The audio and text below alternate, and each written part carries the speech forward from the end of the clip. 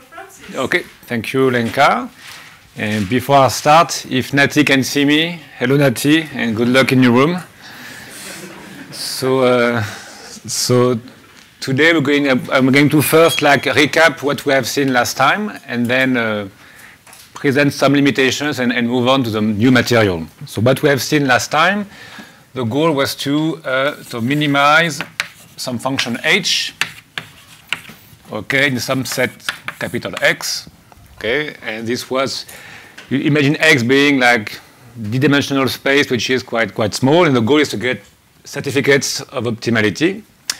And we have seen like two two views, okay, two views to uh, uh, to see this, and they were based on the assumption, okay, so the assumption was that we can we could express h of x as a quadratic form in some in some feature vector phi of x. Okay, so let's take phi of x. We took monomials, and then this simply means h of x was a polynomial. We took like trigonometric polynomial. This means that h was a, such a polynomial. So this is what we're going to assume that we know we know uh, h, and we have seen like two views. So I'll try to write them down here. So we had seen that we could rephrase the problem as maximizing a lower bound on h to maximize c such that h minus c is positive. Okay, so this is the trivial reformulation of the optimization problem. And what we uh, discussed last time is, is since h can be represented as a quadratic form, it makes sense to uh, uh, represent non-negative functions as quadratic forms where the, where the matrix is PSD. And we uh, instead consider max over C such that h of x minus c is equal to phi of x transpose uh, a phi of x, where a is PSD. Okay, so this is a so-called like sum of squares uh, uh, relaxation, and because the set of sum of squares can be is included in the set of the negative function, we get a lower bound. Okay, so this was the uh, SOS view. But we, so this was the SOS. but we also uh, uh, view the dual view, which is uh, simply like taking the dual of that optimization problem and what we, it's often called the moment view. And the moment view is that to minimize h of x, is equivalent to minimizing the trace of h times sigma over sigma in k. And k is what the convex hull of all phi of x, phi of x transpose. Okay, so those two, this and this are equal and equal to that. Okay, this is what we, are, what we have seen. And now this is, of course, difficult because you don't have access to the convex hull of that, and we consider a relaxation. And like all convex relaxations, typically you want to, you look at your set K, okay, look at those, and you're trying to see uh, what uh, convex constraints are satisfied by those elements. The first that come to mind is first the affine constraints, okay, so if those uh, matrices belong to some affine subspace, you better make sure that uh, your relaxation, okay, which we call k hat, so this will be bigger than the mean over sigma in k hat of the same trace. And k hat, okay, what will it be? Okay, k hat will be at the affine hull of k Okay, so you belong to take the affine hull of those, and for example, we have seen that for polynomials, uh, this was like a Hankel matrix, so this was you, you restrict yourself to Hankel matrices. Uh, since typically, for example, for trigonometric polynomials, the norm of phi of x was 1, then the trace is 1, so you, you restrict the trace is 1, so you add all affine constraints that you know, But we know a bit more, and this is, uh, uh, but we know is that this is a rank one positive matrix, so we add the PSD cone. Okay? And, and that's it.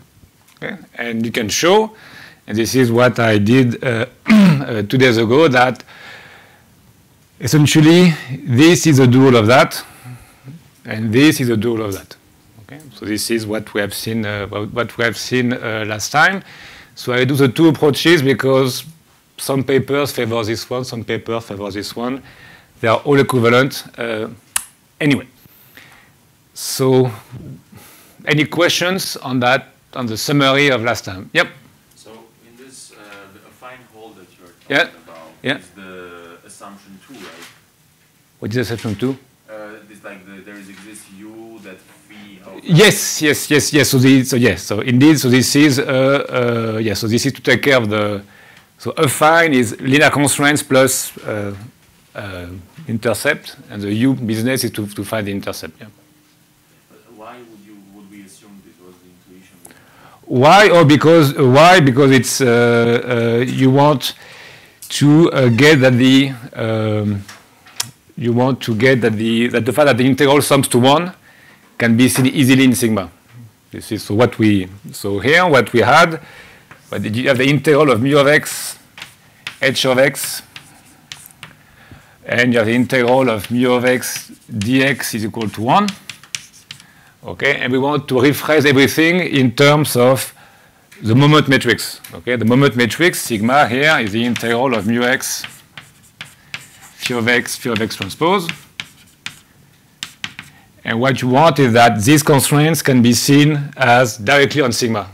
And one way of doing it, and I don't know any other way in fact, is to impose that there exists a, a matrix U such that if I multiply this by U, I get U, okay, here, and this is 1 for all x. This is a way to make sure that the summing to 1 constraint can be seen as a linear constraint in sigma. This is just, This just is a very mild assumption in some sense. yeah, Uh, you can always, You just want to say that you can represent the constant function one. yeah, which yeah, yeah. Basically. And if, if it's not the case, you add 1 to phi of x. Yes. Okay? But most cases that I know of, uh, phi of x already includes 1.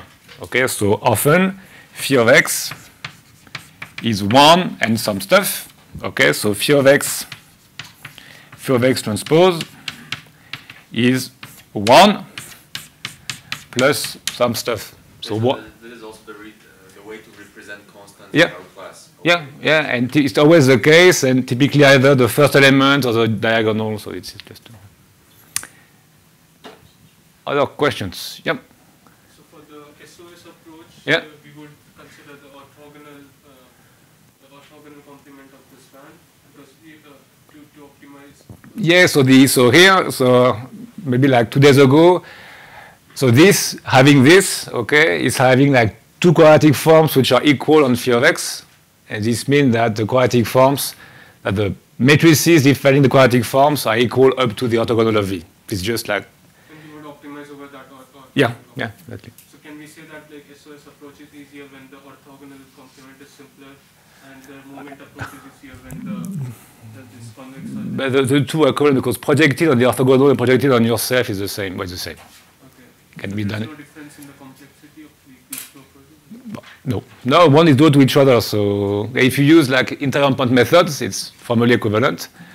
If you use first order techniques, typically like a primal first order technique can be transformed into a dual first order technique. So there's no there's no major differences. It's just a matter of taste. And uh, for some problems, for example, in what I will do later for kernels, I will only do SOS because uh, uh, in SOS you work directly with H, okay, which is a bit uh, bit easier. Whereas in the in the uh, moment approach, you really need to know uh, the capital H, which may be a problem. Okay? So for polynomials, H is known, so the, the coefficient of the polynomials. But when I'm going to access my functions through function values, I will not know capital H. I will just know H of xi. Yep. Um, is the SOS relaxation type uh, if and only if n equals k hat? Uh, I think the precise statement is if uh, is this type for all H, yes. because this is just the support function. So like a bit of convex analysis, this is a support function, okay, minus the support function of k taken at h. And to have equality, you need the support function to be equal. So you need this to be equal for all h. This is equivalent. Okay. Any other question? No? Right, so what are the limitations of what we have seen last time? So, one, so limitations.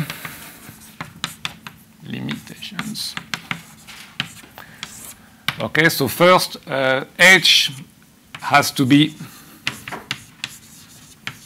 of the form like that. Okay, so if you want to optimize the polynomial, it's fine, but otherwise, H is not in your in your space, so you have to do something. and two, uh, it's not tight. It's not tight in general. And what we have seen for polynomials, okay, we have seen that for polynomials of degree r, okay, so it's tight for polynomials only for, we have seen like uh, degree 2 polynomials in any dimension. We have seen uh, any polynomial in dimension 1, and we have seen, I think, d equals 2, i equals 4. Okay, so those are the only cases where you get exact equivalence between the two. But anything beyond that is not true. Okay, so you won't get tightness.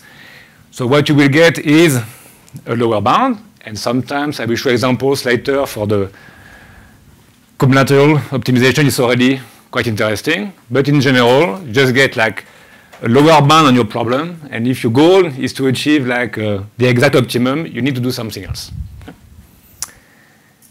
And so what we'll do today, I will first,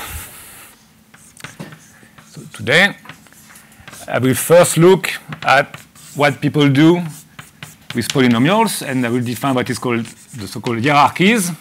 Okay, it's just to give you like some culture on uh, what is being done. It's very active area of research. And two, I will present like uh, more like uh, recent work from my from my group, trying to avoid those problems. Okay, so we will go with sphere of x will be infinite dimensional. Okay, so that will solve that problem of being the in the in that form because that will be always true if the if phi of x is big enough. That will solve the assumption that problem of inequality. Okay, uh, this will be equal here, but that will create extra problems because now I have to deal with infinite dimensional objects, and I will this will be the topic of today. All right. Can can I just ask a really stupid question? I think I'm just missing. So, so K is convex by construction. Yep. So isn't the affine hull of a convex set convex? Don't you It, it, it, it is convex, but it's much bigger. So what you have, so in I a, thought, I thought it was the set itself. So do you, when you say affine, do you mean conic hull? Affine, you mean like the smallest affine subspace containing your set. So if I take, for example, in 1D, if I have a segment like this, the affine hull is this. Oh, you don't. Okay, okay, okay. Sorry, I understand. What? Got it. Thank you. And uh, so often in papers, you have the conic hull, the affine hull, and the convex hull. Okay, and the convex hull is the intersection of conic and affine. All right. So let's uh, yeah, let's rewrite that.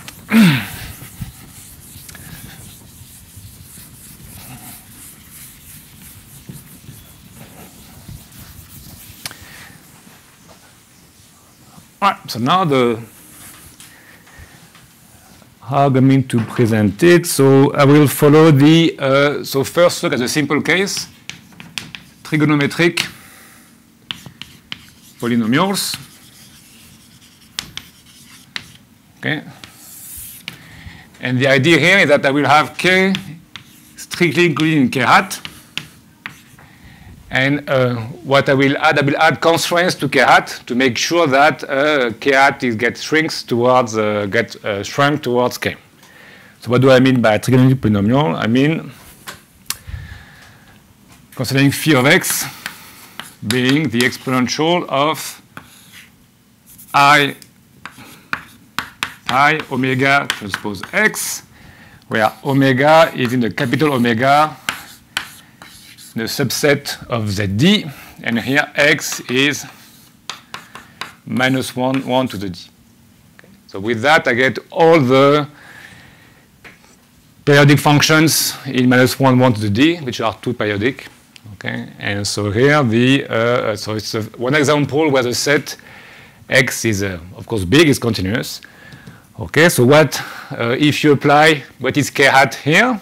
So k hat here is simple because you just define look at phi of x, phi of x star. And that example is the only reason why I use like complex matrices. Okay, so let's uh, enjoy it. So if you take the element omega omega prime, then you get exponential of i pi x transpose omega minus omega prime. Okay, so what you see here is that uh, first you have that, and you have that the norm of phi of x is always equal to 1. Okay, so this defines essentially the set of uh, affine constraints that I was mentioning.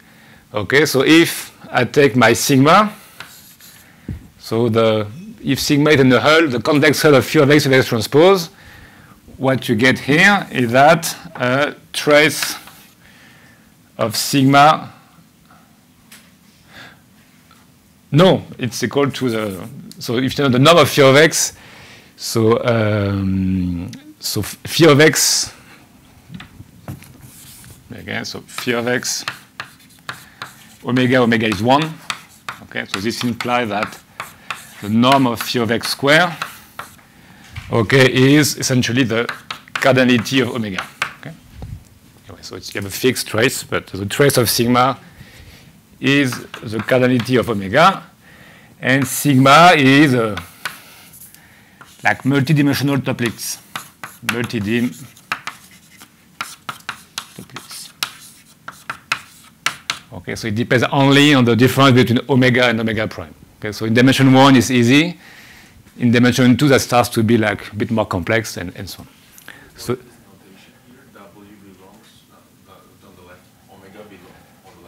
Here? Yes. So here I'm, I'm going to have a set of frequencies for my Fourier coefficient, but for my polynomials, and I'm, going, I'm assuming that I take a finite subset of coefficients, capital omega, and all of them are integer valued. So essentially, those are the Fourier, when I take h of x of that form, capital H will be the set of the Fourier series, the Fourier series of uh, small h. It's just a way to it's a one way, very complex way of writing the Fourier series of H. Uh?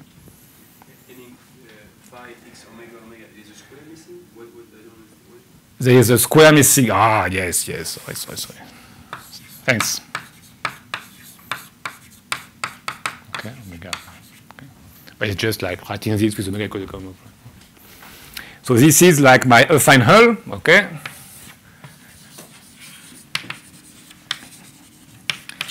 And uh, what I showed, what I didn't show, I, I stated on, on, Wednesday was that the when d is one, this is tight. Okay, if I take omega being an interval minus r to the r, but if you go multidimensional, it's not tight anymore. Okay, so there are strict uh, strict inclusion. But one one way uh, to uh, to make it uh, stricter is to, in fact, embed. So you embed omega in a bigger set, let's call that uh, theta r, which is a set of all omega, so that omega, let's say, infinity is less than r. Okay? So you're going to embed your set of frequencies which you need to represent h. So typically, the choice of omega is dictated by the, uh, the function you want to optimize. So if you want to optimize at a finite Fourier series, you take omega as being essentially like what you need to represent h, but to make it uh, tighter, you add more frequencies. Okay, essentially all the whole hypercube, uh, but in, the intersection of the hypercube and the set of, uh, of uh, integers, and essentially uh, you, this creates then a big psi r of x. Okay, and the way to see it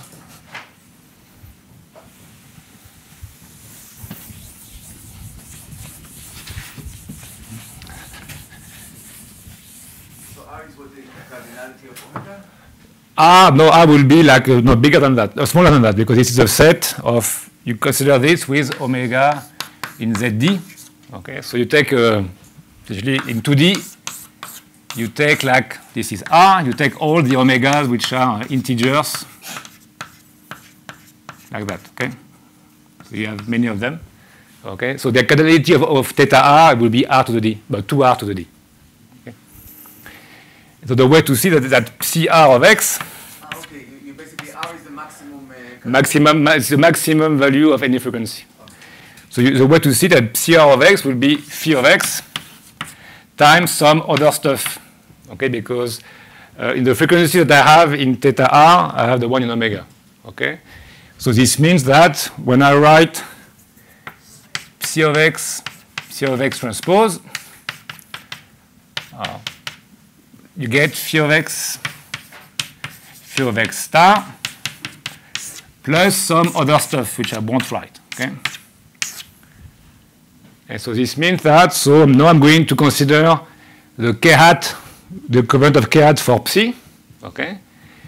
And, uh, and I will take that my sigma will be the projection of that bigger k hat onto the first, like the first uh, component. Okay?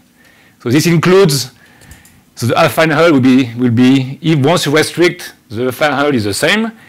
But when you take PSDness, okay, so if this big matrix is PSD, this implies that that block is PSD, but the converse is not true. Okay, if that block is PSD, it doesn't mean there exist other blocks within the affine hull that will be PSD. Okay, so this is like, uh, uh, and, um, and what you can show is that if you let R go to infinity, then uh, k hat will converge to k, or k, k hat r will converge to k, but the projection of k hat r onto the first block will converge to k, and the SOS relaxation gets tighter and tighter. Okay? So essentially, you make the set bigger by having more and more frequencies. Of course, the cardinality of omega will be here 2r plus 1 power d. Okay, so when uh, Ah. of theta of theta, of theta, yeah, yeah, sorry, sorry, of theta r. So to get tighter and tighter, you have to consider a psi which is bigger and bigger. So when you run the algorithm, okay, you have to deal with matrices of size, the size of psi, so it gets like larger and larger. Okay, and the hope is that you stop when r is uh, not too large. Okay, so this is a, this is a, the way uh, you will uh, constrain. You will do like things which are tighter and tighter. Okay, so in practice, you start with r small, and typically you, as soon as you increase r, you get a higher value of the lower bound. You construct your estimate from above, and once they match, you stop. Okay, and so here the what is at stake is uh, either you hope that you will stop with r small, or you prove that you can stop with r small. Okay, so this is uh, so this is uh, more difficult, and at the moment there are no. Uh, I think the bound that people have are not not great at the moment. Okay. Yep. Maybe an naive question, why don't you start with theta r? What's the, why introduce omega? because typically you need you need omega will be the, the one that you need to represent your function. Okay, so typically you would take theta r with r big enough to represent h, and that's it. Who is Psi r again? Psi r will be the the corresponding uh, uh, moment corresponding feature for that big set. Okay, so all those exponential, but for omega, not in the omega that you start with, but with the, the, the cube. Okay. So then you always take a cube, okay? You make sure the cube is big enough to include your function, and you increase the size of the cube until you're satisfied. So this way you again relax the problem, right? Yeah, it's always relaxation, it's always a lower bound, okay? But because you optimize over sets which are smaller and smaller, the k sets are smaller and smaller, the lower bound will always increase. And what you can show is that it will increase always towards the op- global optimum.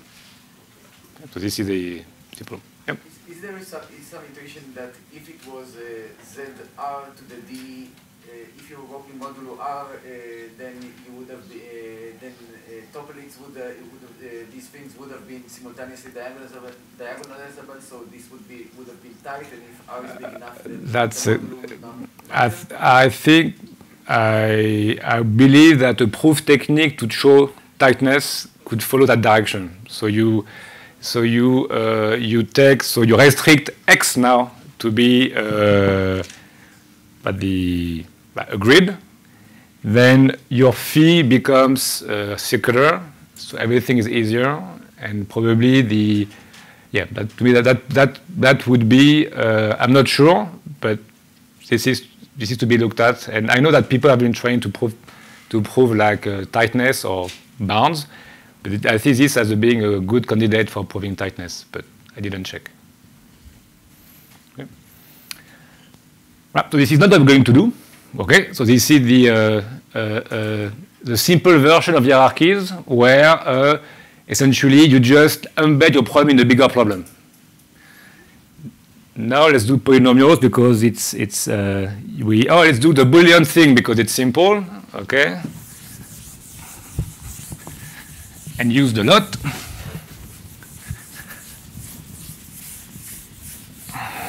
All right, so the so let's take x being minus 1, 1 to the d. Okay, and start simple for the moment, phi of x being just 1 and x. Okay, so this means that if, you, if this will work for function h, which are essentially, this is like we saw yesterday for the R, for RD, you get uh, essentially quadratic function, an xt transpose uh, ax plus bt transpose x plus, okay, so this is what I wrote last time. So essentially here, I want to minimize quadratic functions on the hypercube. Okay, so this is a well, very classical problem. And this is one instance of this framework with the Boolean hypercube and the simplest possible non-trivial uh, uh, phi. Okay?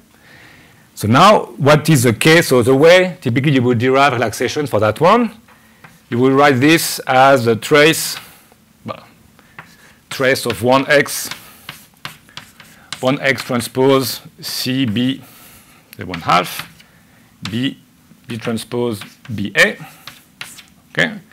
And then you need to find at relaxations uh, of that, okay? And typically, to do that, you know that uh, uh, one, if you take, let's say, uh, sigma being 1x, 1x transpose, you know that sigma is PSD, you know that diag of sigma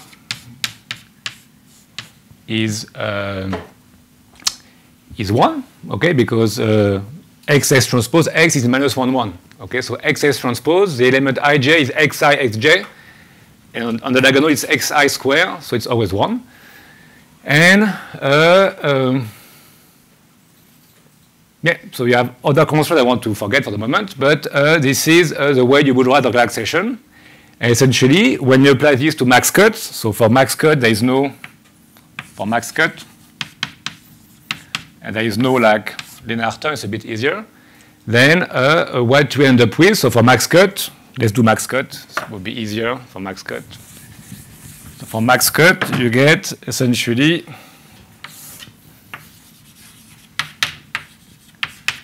the h of x is 1 half of x transpose ax. So this is 1 half of trace of a x x transpose. And this one you relax to uh, being PSD and diag is equal to 1. Okay, so this is a max cut relaxation, so S SDP relaxation of max cut. Okay, and this happens to be the first layer of the hierarchy because you just take phi of x equals x and you're fine. So here, what is nice about that is that, uh, uh, so statement one, it's not tight. Okay, so it's not tight, but, and Boaz is the expert here, it does not really matter so much if you can get something close enough. Okay, can you get bound between the SDP relaxation and the optimal value? And it turns out that there are bounds, okay? There are bounds. So essentially, if you take, let's call it capital X, if you take a solution of the SDP, so if you take X star equals to argmin of trace of X, so that X is PSD and diag of X is 1, Right? Then there is a nice, a very simple way, by, so this is like the idea of Goemans and Williamson uh, from 95, to come up with a candidate X with, with known uh, guarantees. So let me just briefly mention them because it's interesting. So what you can show, so you take X equal to the sign of something which is normal with mean zero and covariance matrix X. Okay, so you sample, you sample uh, a normal uh, distribution with mean zero and covariance matrix X. So since X is PSD, it's a well-defined covariance matrix. You take the sign vector, minus 1 or 1, depending on your positive or negative component-wise. And then uh, what you can show, you can show that the expected value of X, AX, is uh, well behaved, okay? So that if you take your objective, uh, objective value, h, you know that it's upper bounded, uh, uh, it's lower bounded by the SDP relaxation, but this one is also not too far from, from the global optimum. Okay, so I will now will need to put like assumptions on A, is it like pointwise positive or not, or PSD, and you get constant factor approximation. And if you want to know more, this will be in the notes that will be like available. Okay, so just to highlight the fact that getting the exact result is not really what matters, at least for that type of problem. And I'm sure Boaz has a long sequence of papers showing that if you increase the hierarchy a bit, you get tighter bounds uh, or not. Not for MaxCut, actually, that Yeah. would be. It's, it's already optimal. The, uh, I mean, that would resolve the unique games conjecture, which is not known. uh, So. you, you have not done it yet? No?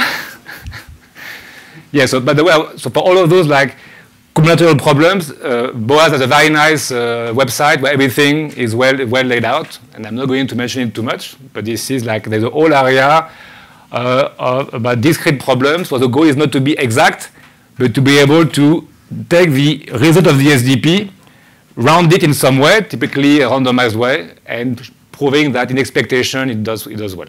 Okay? So this is the uh, classical, so this is like, this is the idea of Goemans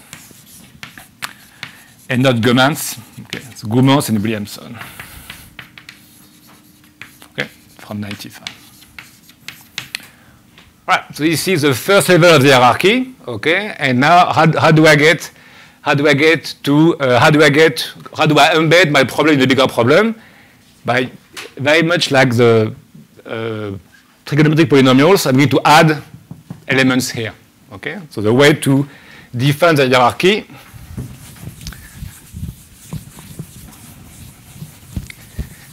So the way to define the hierarchy, so the hierarchy. So you're going to use essentially like uh, the Fourier transform of the hypercube. So what is the Fourier transform of the hypercube? So you define for every, if A is a subset of uh, 1 to D,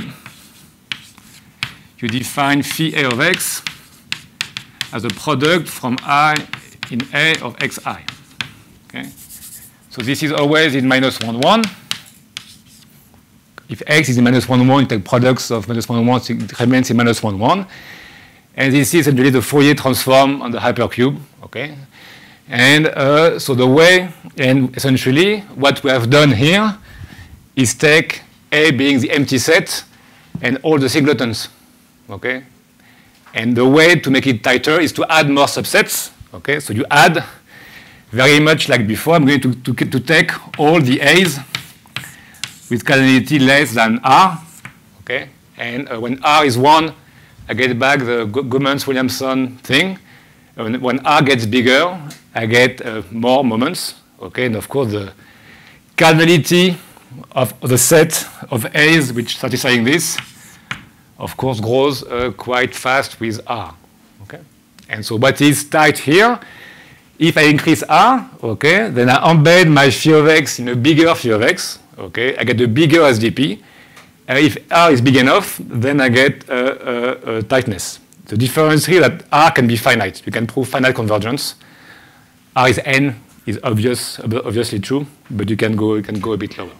Okay? So the whole area of SOS for combinatorial optimization is essentially uh, uh, doing this with uh, Fourier uh, Boolean Fourier transform of higher degree. Okay? And similarly, you can derive like you have a Toeplitz tab structure on those coefficients. Okay, so there's a lot of structure uh, here, but I refer you to the nice uh, uh, website of Boaz for that. Okay. Any questions on the uh, hypercube? No. So this was the easy case. Now let's I will go briefly over the the painful case, which is polynomials. Okay, and the idea being that uh, we don't want to do that. Okay. All right, so so for polynomials, okay, I will go the other way. I will look at the uh, SOS version, okay, and I will simply mention one result, which is the Putinar. So it's a bit so positive. Okay, I'm not good in German, but positive Stellen. That's okay. I think this is from 1993. Okay, so what we have seen is that if I, I have a non-negative polynomial, it may not be a sum of squares. Okay, but can you can you still say something?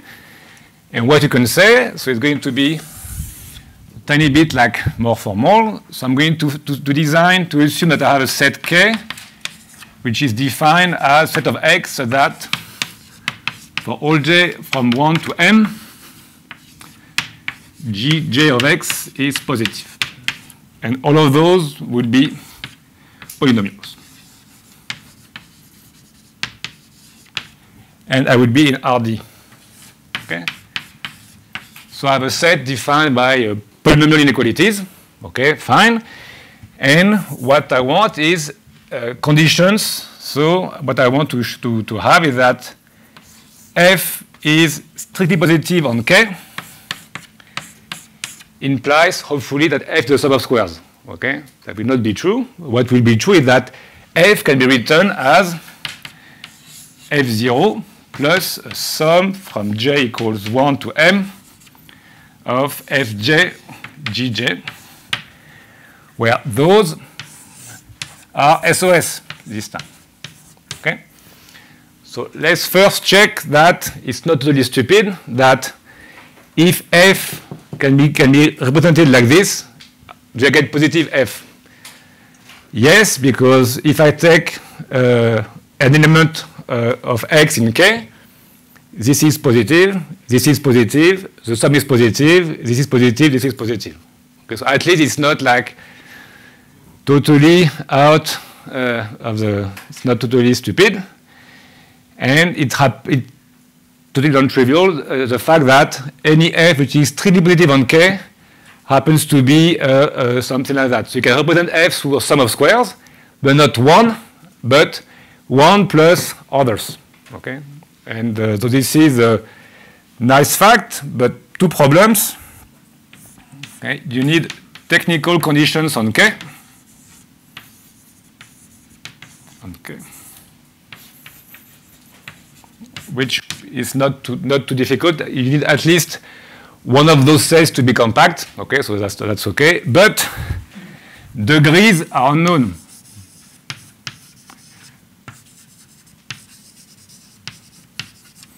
Okay, the degrees of the f0 and gj are unknown. So they have, you may have some consolations between the coefficients. So this means that you know that there exist polynomials f0, fj, but they can be of arbitrary degree. So where the hierarchy comes from is by increasing the degree of the allowed uh, polynomials for f0 and fj. Okay, so at the end, you're going to represent non-negative functions through like those like m plus 1 SOS polynomials. Okay, so this is, we can do this in polynomial time with ways we have described last time. Okay, and then you increase the degrees, okay, and this is what, what, what, it, what, what the hierarchy is doing. You can, you can have the moment view, but that's kind of painful, so I won't do it. just to give you a highlight of what is done in this, in this, in this uh, area. So if you take any papers on SOS polynomials, you first have like five pages explaining all that, pretty much. Okay, and typically that's uh, tough five pages. Okay, and the goal is to be simpler. Okay, today. All right. So Eh. if, if these are the coordinates, No, FJ. Uh, oh yes, sorry, sorry. So no, no, no. So maybe I should change. Let's call it H.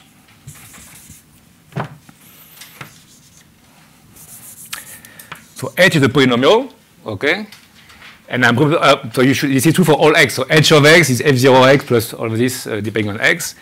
This is a polynomial, real valued. This is a real valued polynomial.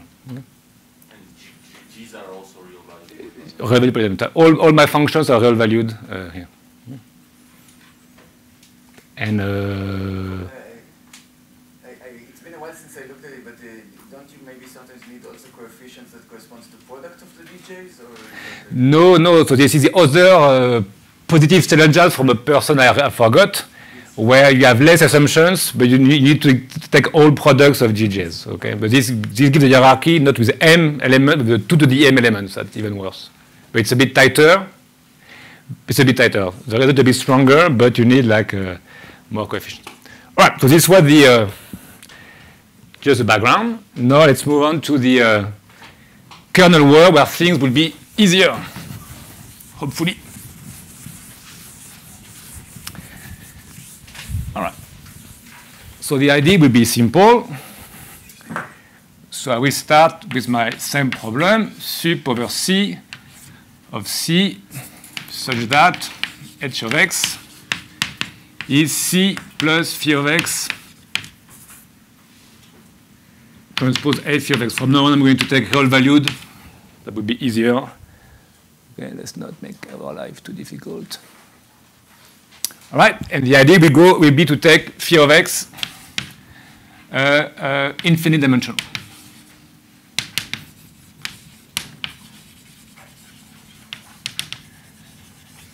So for this, I will, need, uh, I will need kernel methods. So we know about kernel methods, reproducing kernel Hilbert spaces. Okay, so I'll, okay, some of you, okay, so I'll be, do a small review, what we need.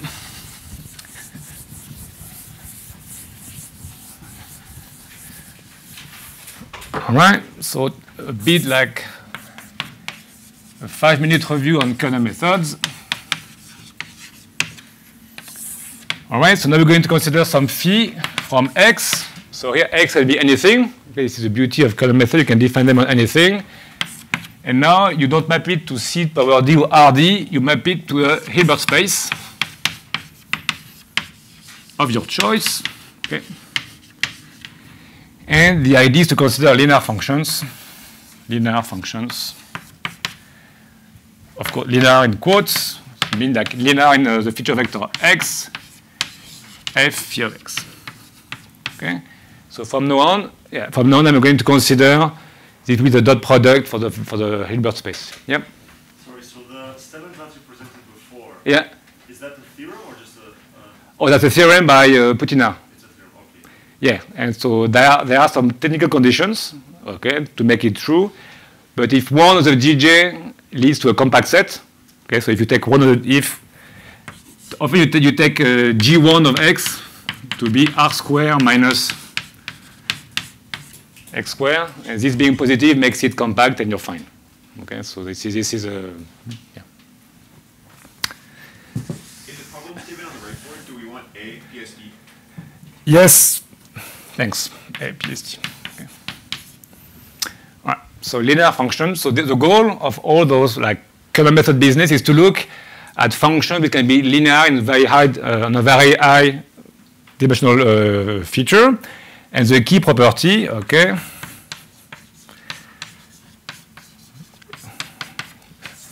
Because the representer theorem.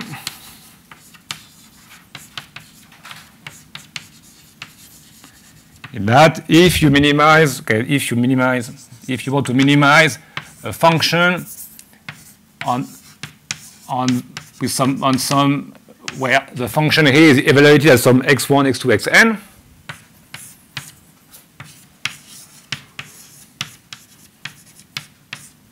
Plus the norm of f. Okay, so this is the norm in the Hilbert space. Then it's a problem in an infinite dimensional feature space, uh, vector space. F belongs to Hilbert space, but you can take f as being sum from i from 1 to n of alpha i phi of xi. Okay, when so alpha, so you start with a problem which is over f in capital F. Okay, so this is like very big space, but at the end you just look, you just need to look at alpha in Rn. Okay, and this is an old theorem, I think, by Wahba and Kimeldorf in 1971 or zero, forgot. Okay, so this is the whole area. This is where the was started the the intensive use of those uh, uh, of kernel methods in uh, all areas where you need to look at functional values. And statistics and machine learning are places where you look at functional values, so this is why it's so, it's so important. All right, and even better, now you can, oh, write it again. Now you can, you can write the function, so x equals f transpose phi of x is then equal to sum over i from 1 to n alpha i, and you get phi of x dot product phi of i. Okay, and you call that k of x xi, and this is a kernel function.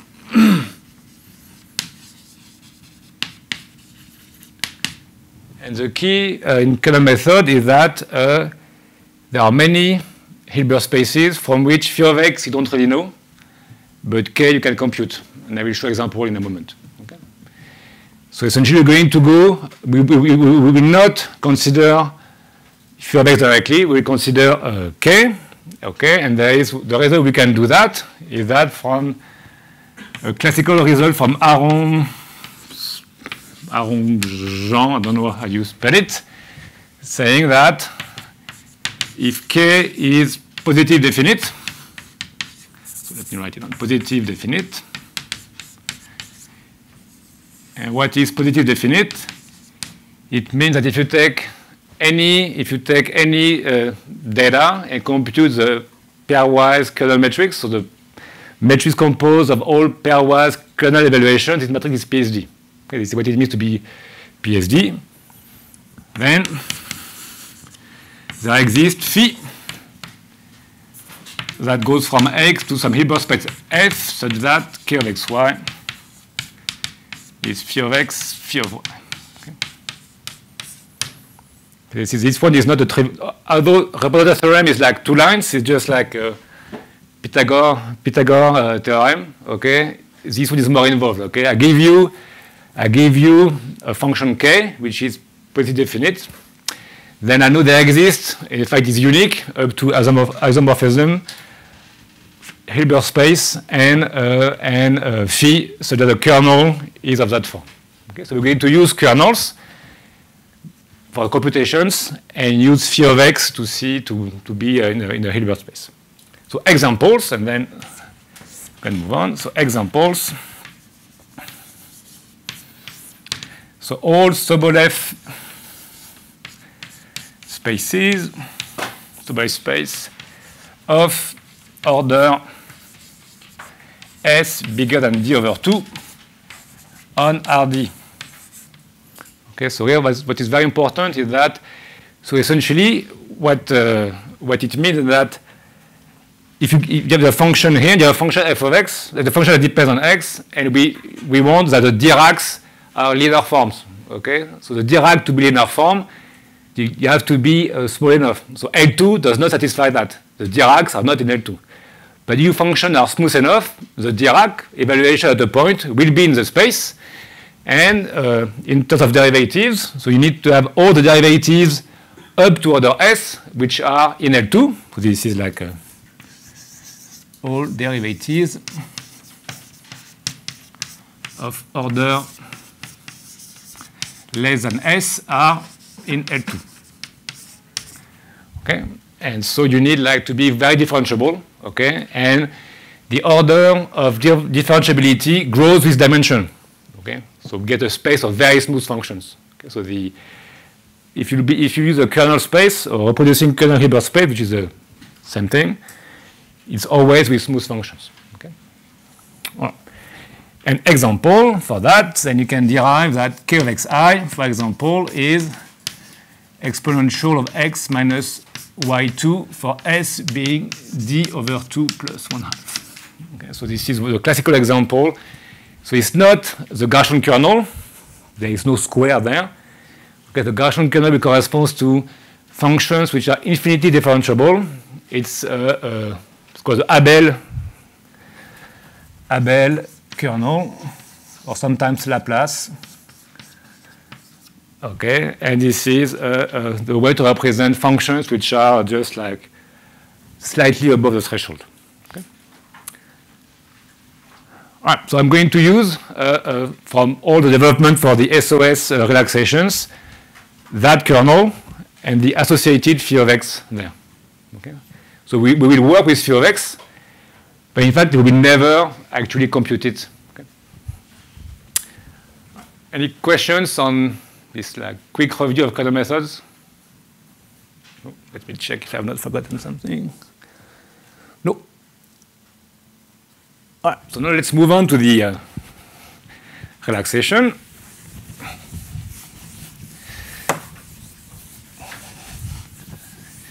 So we call that Cassos with uh, KSOS. And the Cassos are Alessandro Rudi, Ulysse Marteau-Ferey, and myself. Okay. All right, and there is like okay, a bunch of paper in 20, 21, 22. Okay. So, and in the notes, I will like, there will be the precise references. All right, so what the simple idea is that we're going to take the sup over C and A PSD of C such that uh, for all x in omega, and I will define what is omega, h of x is C minus phi of x, phi of x, A phi of x. All right, so what, what is important here all right, so omega will be a simple set. Think up minus 1, 1 to the d. Okay, we need to reduce it to a compact okay, to make everything easier. So anything simple on which you can sample from. Okay, something like that. A, what is A? Is an operator from F to F. Okay, so F is a feature space associated with my kernel. Okay, and A used to be a matrix before, but now it's a self-adjoint operator, so it's self-adjoint op operator, which will be a positive definite. Okay? And then, yeah, so this is the, the problem. Okay, so the many questions need to be answered now, and I will answer them one by one. One is feasibility.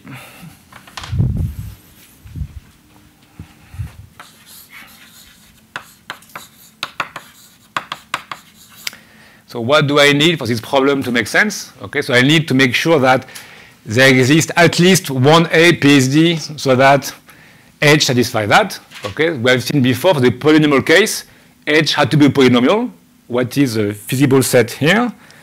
Two, is it, and the answer will be, it will be feasible if H is smooth enough. Two, tightness. Do I need, do I get tightness? Do I need to add extra uh, constraints? And uh, second, compute computations. Because here I have, uh, I have made my problem harder because now I have A which is infinite dimensional, okay, and I have not removed the dense set of constraints. Okay, so now my problem is it's, it's, it seems harder, but we will see that this will be like good, and this will be like uh, taken care of using like the kernel trick.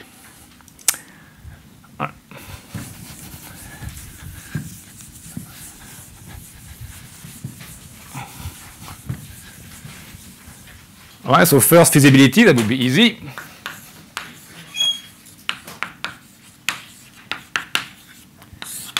So essentially, uh, uh, what we need is that uh, uh, H is uh, uh, smooth enough to be represented by phi.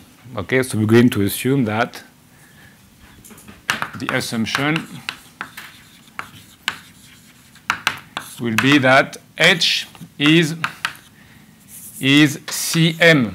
Okay, so m times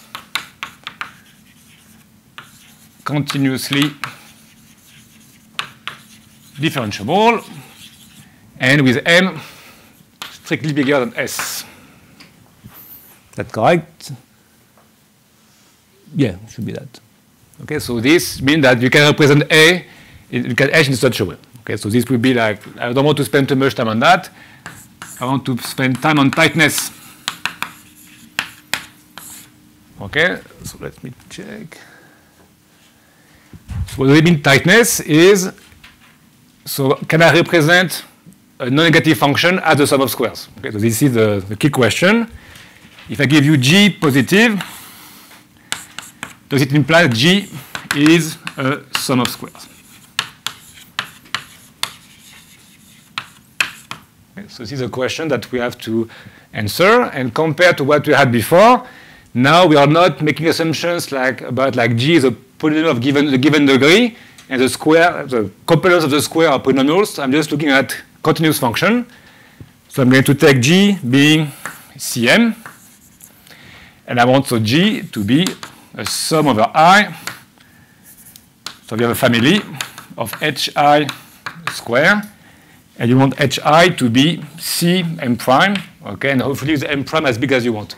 Okay, so this is a this is the goal. I want to decompose as a sum of square because if this is the case, okay, then I can represent each of those in my kernel space, and I, I will get feasibility. Okay, so this is a question that needs to be answered answered to check feasibility. That can I represent this with a sum of squares of sufficiently regular functions? Okay, so let's look at the dumb, like quick quick response. So what is a quick response?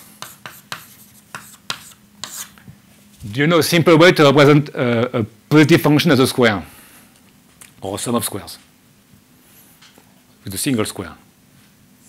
Square square. Yes. Okay. The quick response is g is square root of g square. So for polynomials, it's not allowed. Here it is allowed, but is it a sufficient answer? Yeah. Yes, the problem is uh, differentiability. So if g is strictly positive, okay, everywhere, that's fine. Because the square root is infinity on the strictly positive numbers, you're fine. But as soon as g touches zero, okay, this this will be difficulty. So you have a function, positive, okay, positive, okay, that is touching zero. And as soon as it is touching zero, then the square root trick will not work.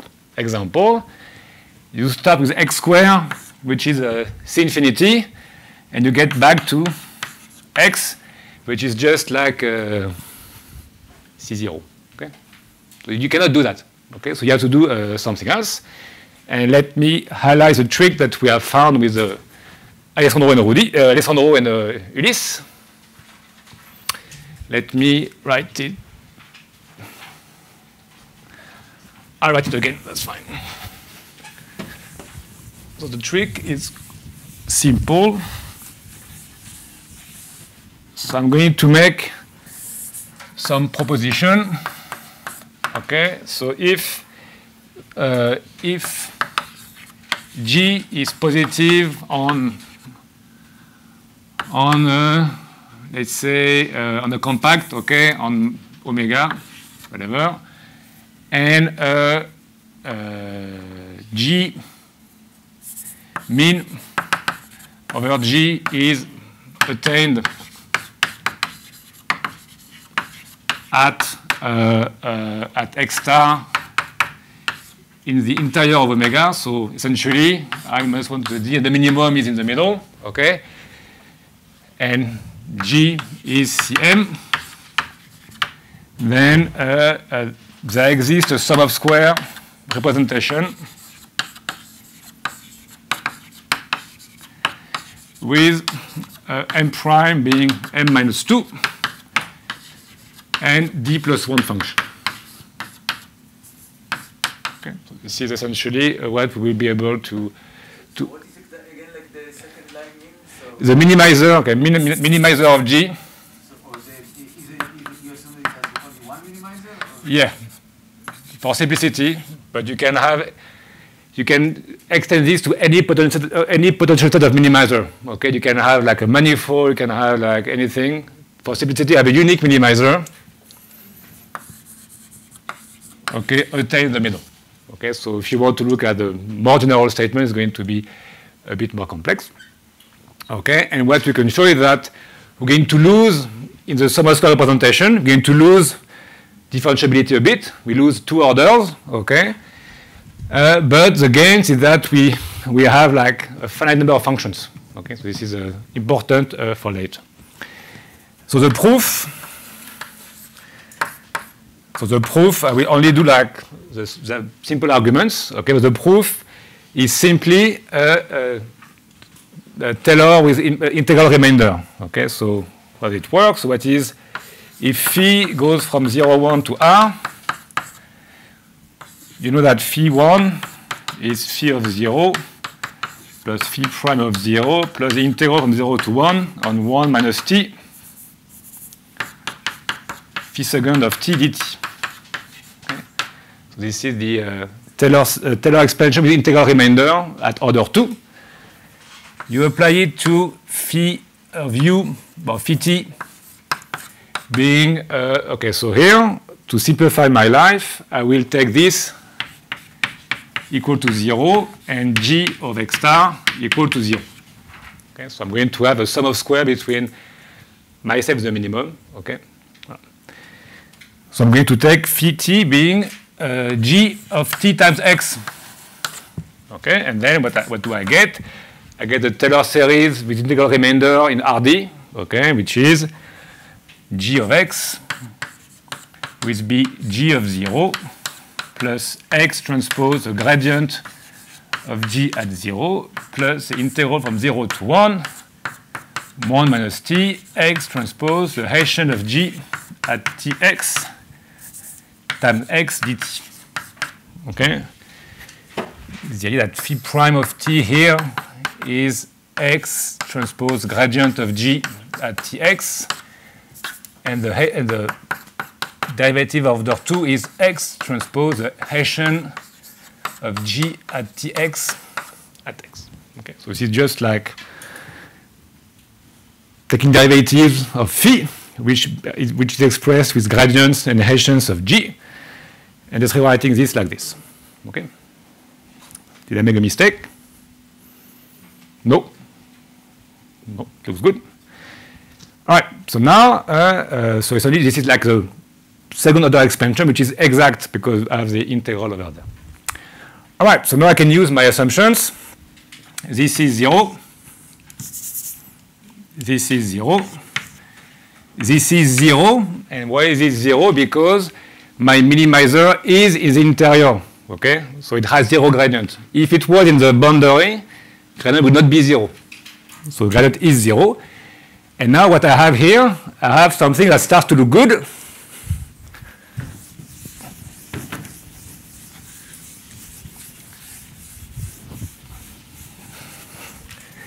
So it starts to look good. Why? Because what I have here, I have an integral. This is positive. This is like you start to have some sum of squares, okay? And the key here is that we know we're going to add one condition, okay? Condition. Oop. Otherwise, not true. And the gradient, the Hessian of g of x star is invertible. Okay, so this is a, this is a stronger assumption. Essentially, the minimizer is a second order strict. And this means, so of course, the Hessian at the optimizer is always PSD. Okay, it's, it's a minimizer, it's a local minimum, but it's strictly invertible. So this means that the gradient of uh, the Hessian of G at 0 is bigger than lambda identity. So this means that for x small enough,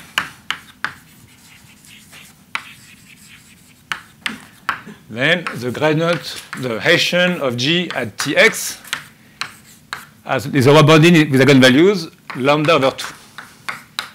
So Okay. We assume here that the minimum point is at zero. Yes, yeah, geopossibility just because I don't want to write this with uh, X star everywhere. Okay. And so locally, this is PSD. Okay. And the beauty is strictly PSD. Okay. It's uh, it's definite, definite. And the beauty is that now I can play the square root trick. Okay. Not in R, but in RD. So one fact is that the uh, positive square root function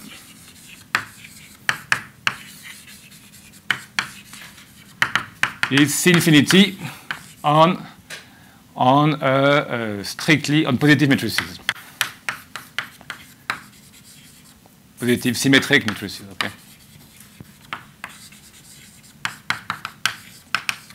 Non-trivial fact, but you have to believe me on that. And in the note, there will be a reference of a paper showing that. But it's very much the extension of the classical square root.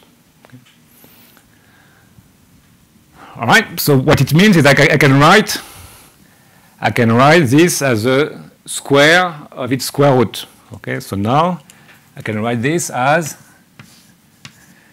g t of x one half times d g t of x one half. Okay, I'm allowed to, to say that. And this, uh, uh, this term will be of, of order m minus 2. Why? Because g is a, is a cm, the relation is cm minus 2, and I take a, a c infinity function, I get m minus 2. So this is uh, of uh, order c uh, m minus 2, and now it's done because I can write this as 0, get D. so I'm going to be uh, smart, the sum from i equals 1 to d of the integral from 0 to 1 of 1 minus t of essentially a gradient 2g tx 1 half time x component i square. Dt. All right, so I'm just like look at the components of the of the I take that I take the product with x, okay, and I just like uh, expand the square norm uh, through the through the components, and now I have my and this is hi of x square, okay, because it's uh, wait wait wait wait. Why is it a square? Okay, I'm missing something. No, you take. No, no, no, you do it afterwards, okay? So you have to, sorry, sorry, you have to enter this inside, okay? So let me do it again. So you first have to enter the x outside, okay? So you, you do, this is x transpose integral of 0 to 1 of x transpose gradient. No, it won't work. Okay, so I I applied some.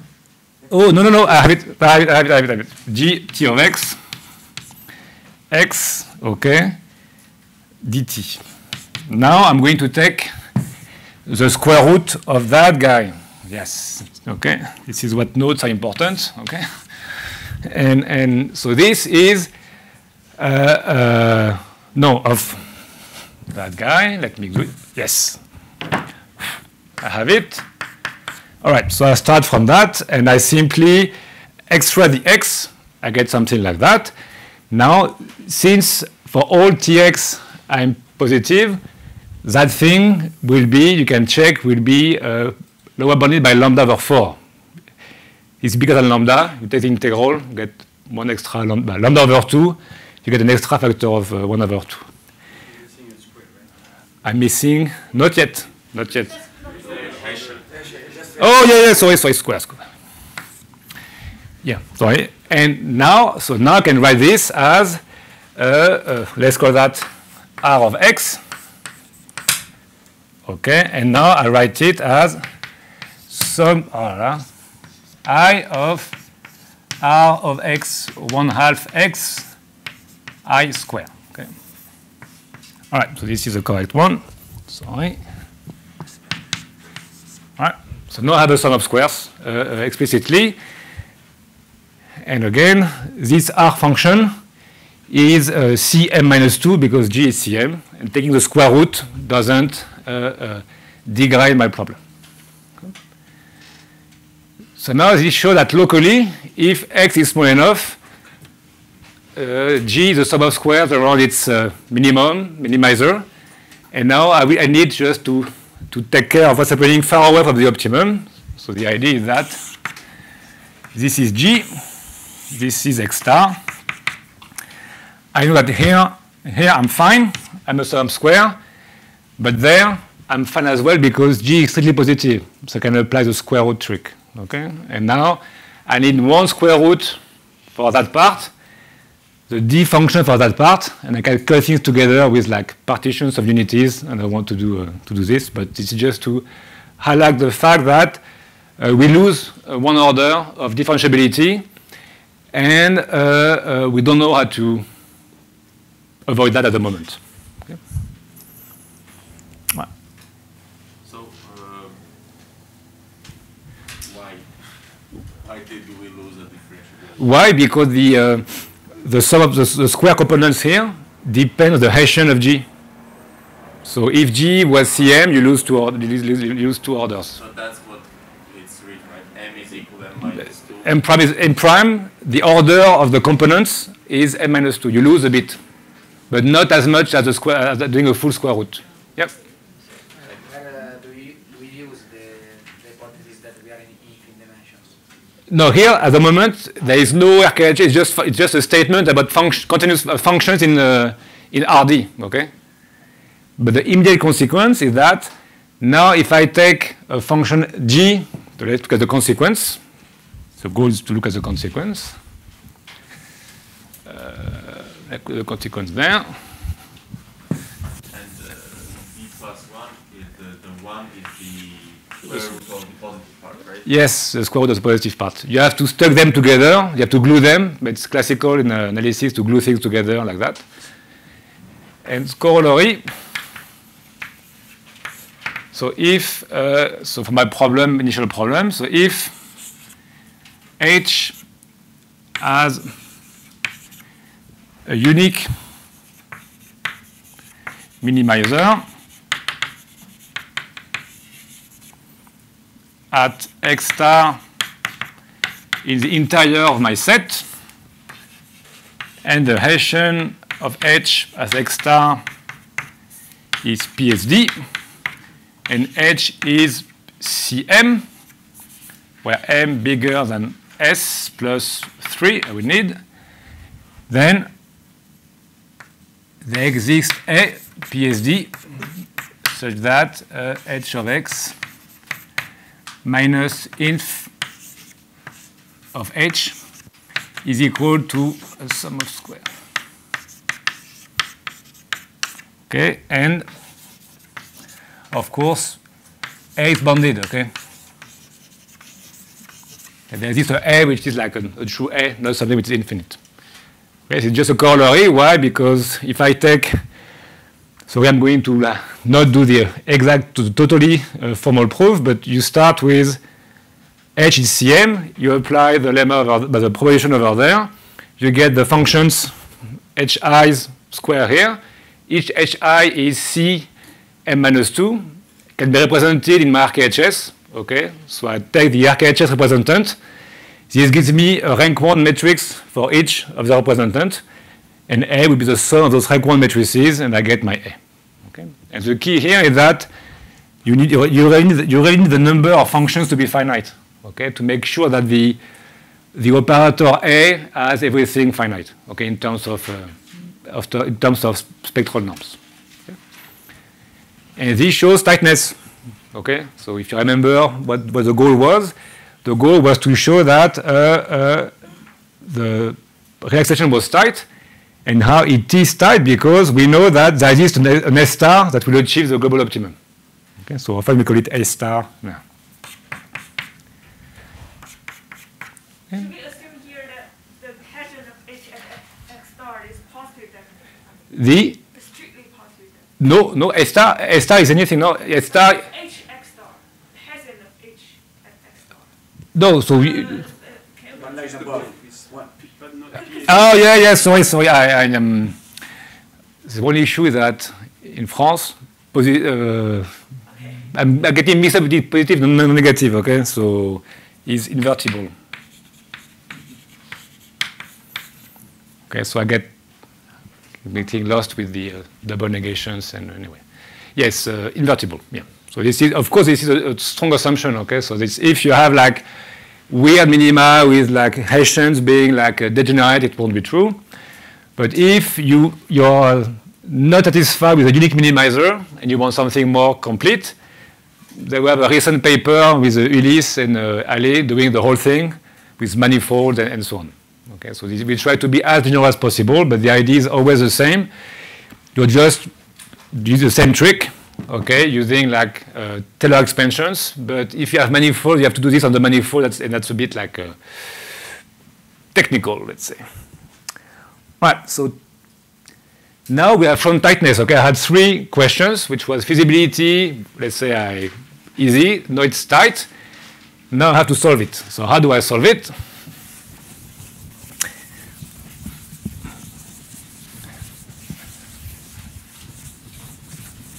So how do I solve it? Yeah.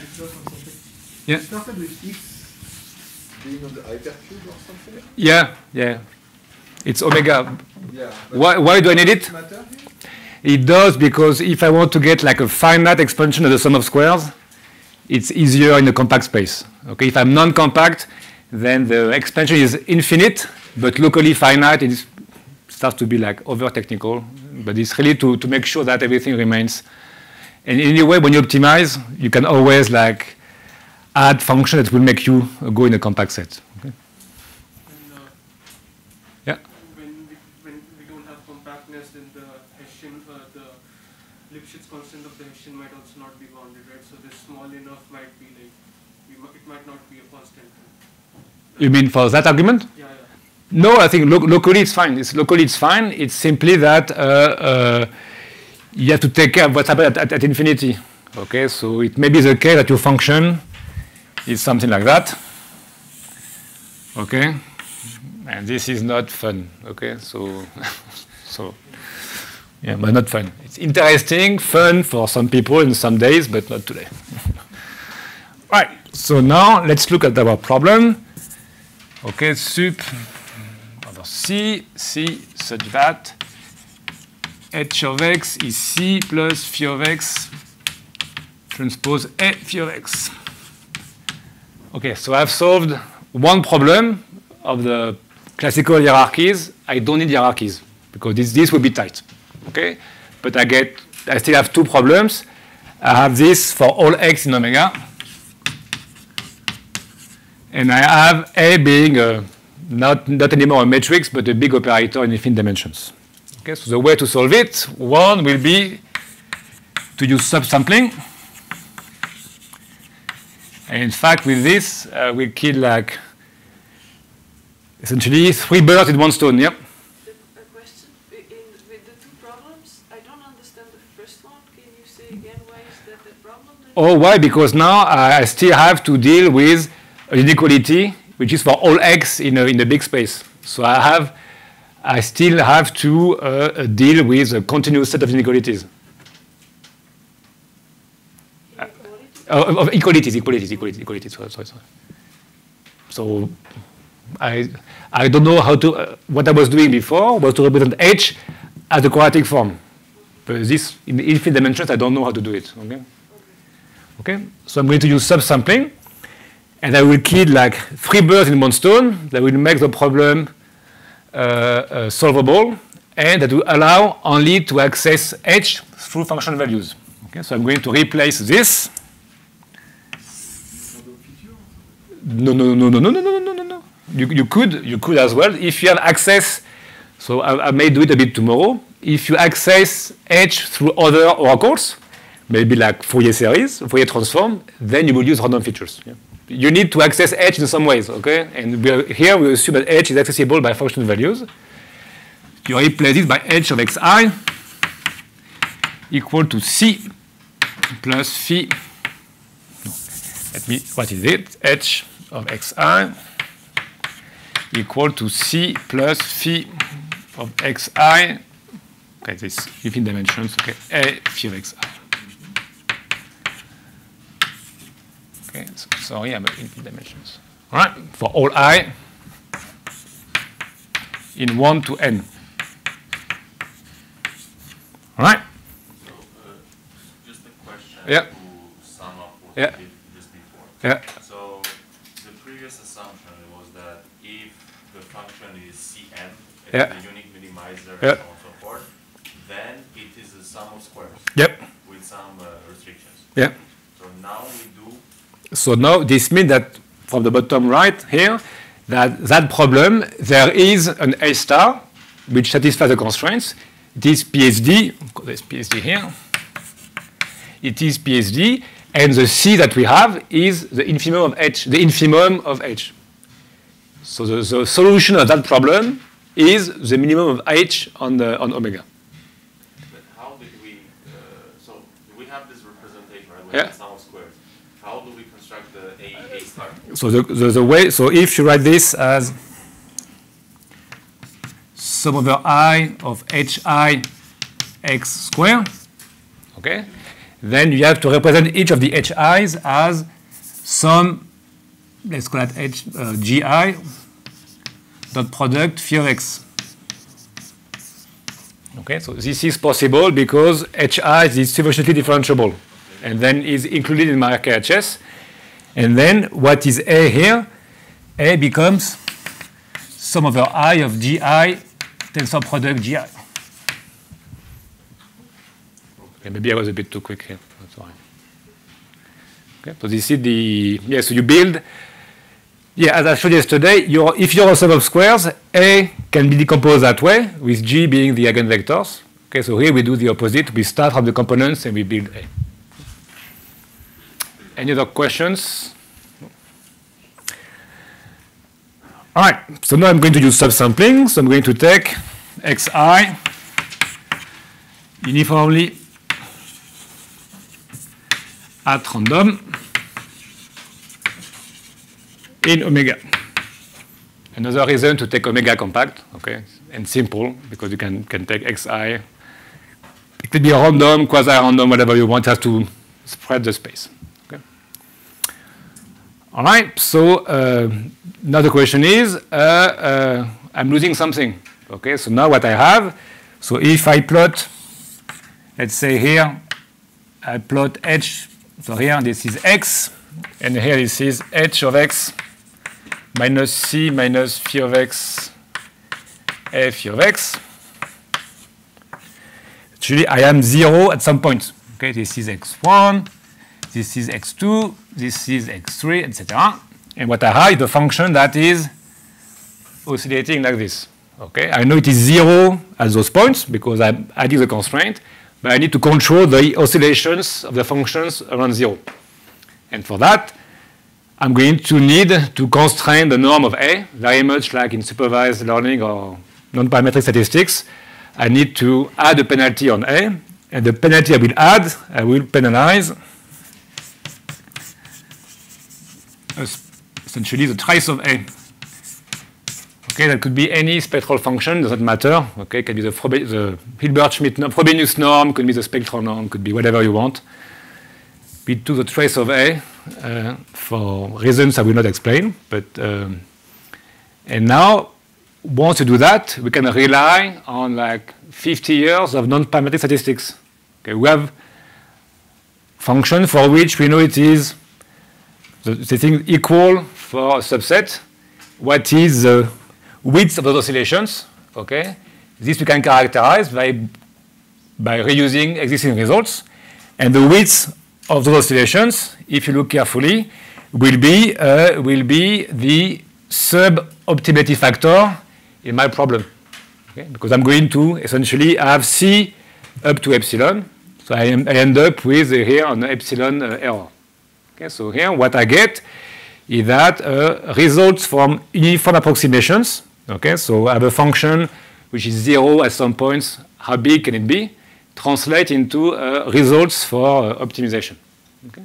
And so here, that width epsilon Okay, so we know exactly uh, how to characterize it. So this is, I won't do the, the math, but this is known from statistics for, from quite a while. And what you can show is that, so what we get, uh, so the proposition that we have with, uh, with uh, Alessandro and Luis is that uh, to reach error epsilon, okay, in high probability. Okay, so here, high probability over what? Over the random sample, okay? Then you need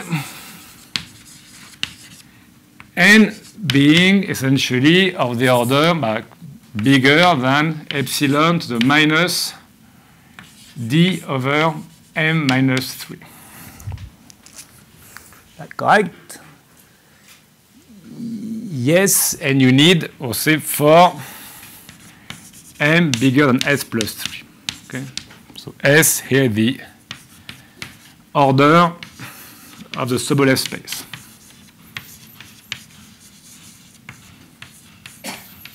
So m both sides of the equation. No, it's n and m. So this is n, number of samples, and m. So there's one more uh, one more leg in this one. What? M was the number of equality. M M is M is the uh, uh, differentiability of H. Oh, yeah, yeah.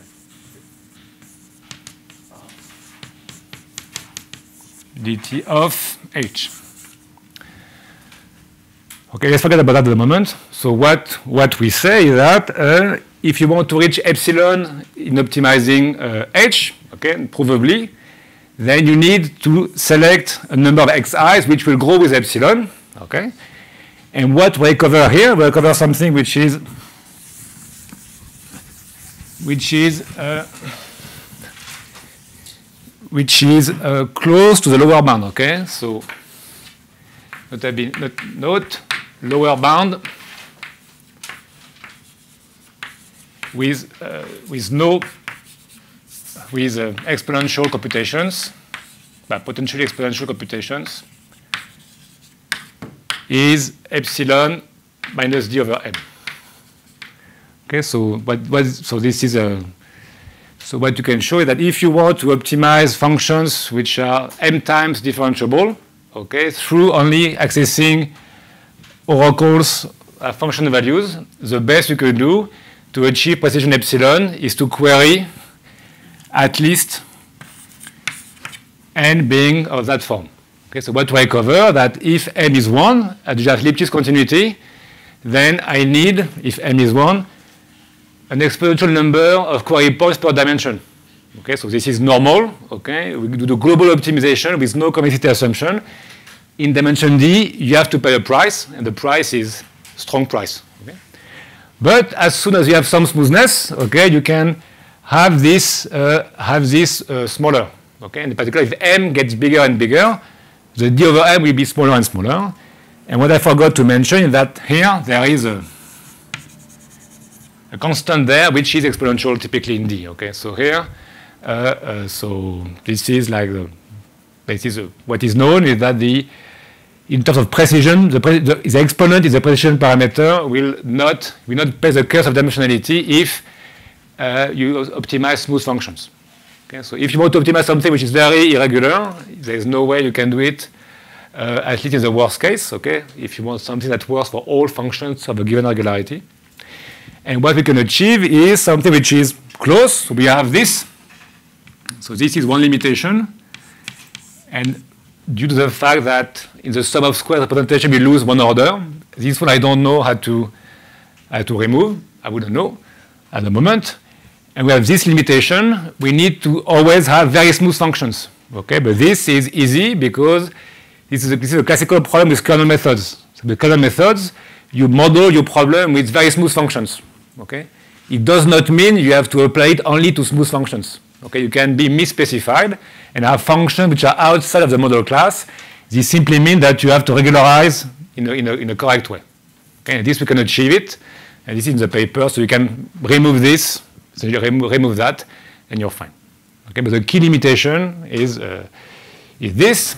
But what we gain compared to the lower bound, the lower bound does not say anything about computations. Okay, so here what we have, we are simply solving now. Uh, uh, let, we are solving an SDP. Yes, good transition. Okay, and what I will do, uh, what I will do uh, uh, tomorrow is to show that you can go to finite dimensions, and there will be one one word representer theorem. So why? Now what we have is, let me write down and stop. Write down the, uh, write down the optimization problem, which is, and then I stop. So you write down, you write down, so the sup over C and C and A PSD, such that, okay, this is, okay, and indeed, you do have uh, infinite dimensions. Oh, aha, minus lambda trace of A. This is a key part. So we penalize a, a trace of A. So now what we have, we have a problem. We, op we, we optimize A, which is accessed only through dot products with phi of xi times phi of xi. And we penalize some spectral function. Okay, so this looks like I had minus f square, and I had f phi of xi. Okay, this looks a lot like that. Okay, you access through function values, like dot products of f, and you penalize the square norm. So here we have something with operators plus the PSD constraint. And what we had shown earlier with Ulysse and Ale is that in that situation, you can show that A is of the form sum of ij from 1 to n of phi of xi transpose uh, tensor product phi of xj times cij with c is PSD. But now c is in Rn. Okay, so it's equivalent of the representative that, that I showed earlier for like linear forms extend to quadratic forms and you get like this representation and now you are in the finite dimensions dimension n and you can run it yeah, so to summarize what we have seen today, okay, so we started from the problem with all x, we subsampled, I did, I did regularization, and this solves like several problems. First, you can run the algorithm because of this, which I will explain more uh, uh, uh, tomorrow. You access H only through function values, which was our goal we wanted uh, to have originally. And there was a third thing which I uh, forgot, but uh, yeah. So tomorrow, what I will do tomorrow, I will so finish this and recap what we have seen, and look at three extensions. Okay, so so for the moment I focused only on optimization, but sum of squares has been applied to many problems. Optimal control, reinforcement learning. I will explain how you go to other problem. Optimal control. And also, I will go over a, a situation where you want, you want, to replace the max by uh, free energy or whatever you want to call it. I call it log sum exp, okay? And that will, uh, that you will need to, we will still consider now, we'll go to the, to the K view. We're going to consider the integral of mu x, phi of x, phi of x transpose and play around with like quantum entropies to get uh, to define some equivalent of log sum exp. So this will be for tomorrow. And on this, thank you for your attention and see you tomorrow.